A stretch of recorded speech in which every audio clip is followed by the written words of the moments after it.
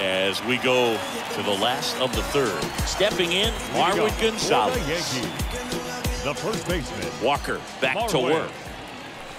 In the air, right center field. This is demolished. Way back and gone. A solo shot, and we are starting over. It's tied at one.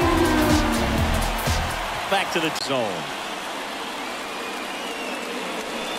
Oh, now this one's blasted deep to left. Way back there, on its way and out of here.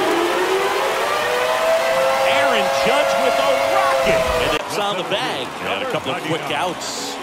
Aaron Judge. High fly ball, pretty well struck out towards right center. That's back. Turning, looking,